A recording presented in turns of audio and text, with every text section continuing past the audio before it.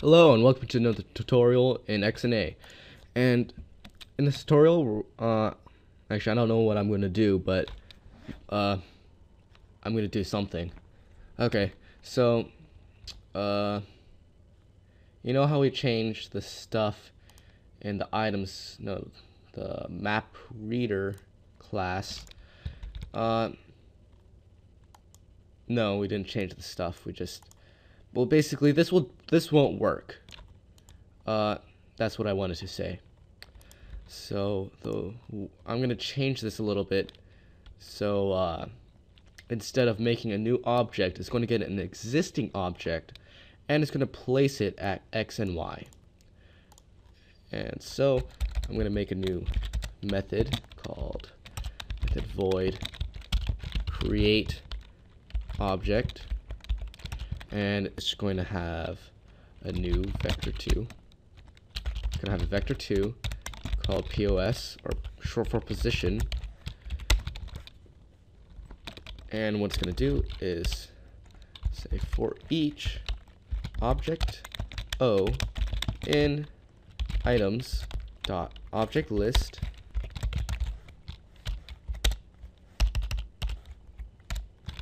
uh oh another thing going to take an object as an argument. So for each O in items.object list, and it's going to say if O dot is dot alive. So if alive is false, so if, if the object is not alive, uh, it's going to set its position. No, it's going to also check if it's this if it's the right type of object uh, it's going to place, if it wants to place. So the way we're going to do this is say if o dot get type equals equals object dot get type. And remember this object variable is the one we passed in here. So we basically just pass in an object for create object. Uh, we say if like, sorry, if we want to create a box, we're going to pass in a box, a new box variable in here, and its position. And it's going to check if uh, this object is a box, and if so, it's going to it's going to uh, create that object. So, if so, create create object. And the way we're going to do this is say o dot alive is true, and o dot position is equal to uh, POS. And I think that should be good. So just get rid of this. Uh, just create object. And we're going to pass in a new wall. And its position is going to be in a vector 2 dot 0 and for all you guys who don't know what vector 2.0 is basically a new vector 2 with x equals 0 and y equals 0. That's basically it. It's just a shortcut. uh, and its position is going to be new vector 2 x and y. You know what, what we could do? Yeah, this is a better idea. We can say x and y and get rid of this entirely. So we don't need this. We don't need this variable. We only need one variable. That.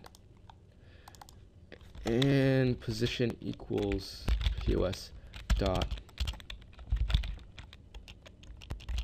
I mean object dot position. Yeah, this makes it more compact. So we create a new object and we also put the position inside of that new constructor. And then we extract that position from that object and set it to the new object. We're going to uh, put on the map, actually. And why is it giving me an error? Oh. Because... No, it shouldn't be giving me an error. Oh, right.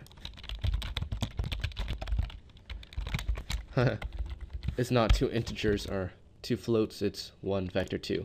So that should fix it. And then what you want to do is just, yeah, copy this for all the other blocks, all the other uh, stuff, and then do the same thing. man box spawner debug it see if it works. Probably not but it sort of works. Okay what the heck oh right. I know what we did wrong. Uh this is sort of dumb but what it's doing is it's getting all the objects that are uh,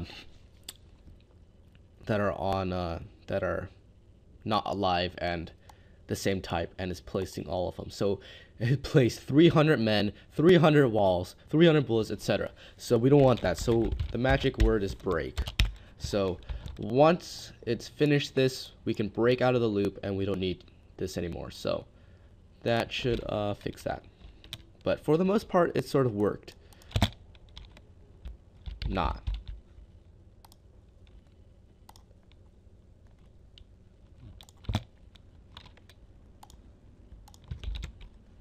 Okay.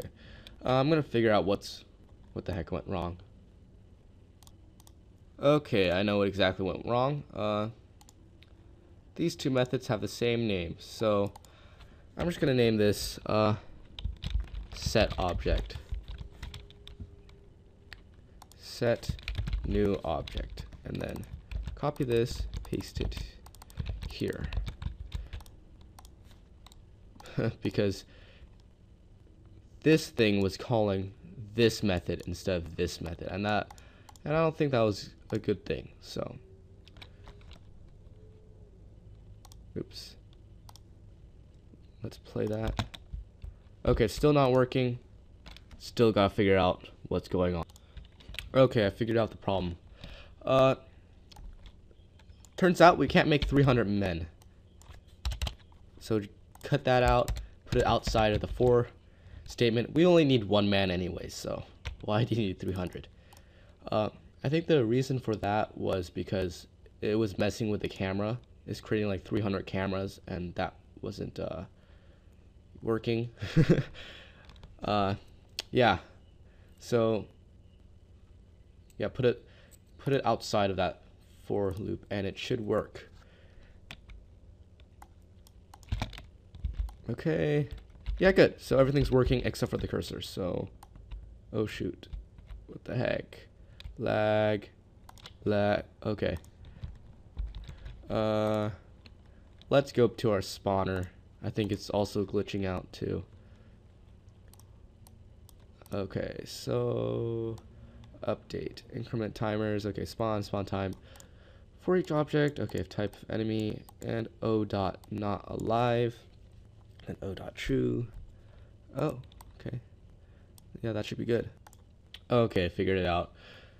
Uh, for update method, we don't have something to block it, it from updating if it's not alive. So, not alive, return. So basically all 300 spawners spawning 300 zombies at once. And they're all pathfinding at once. Yep, that's that would make a game slow. So, I think everything's good right now. It's not like lagging. Except this guy's not following me. What the heck? Okay. So, yeah. So I think everything's working right now and I think we can get back to what we were doing before. Okay, so I think the next step is making something remove the objects. We've made a thing to like uh, create objects. Now we need something to remove them. Uh, okay, it's actually getting started late in this tutorial, so I think we're going to do that another tutorial. Uh, this is a good ending point.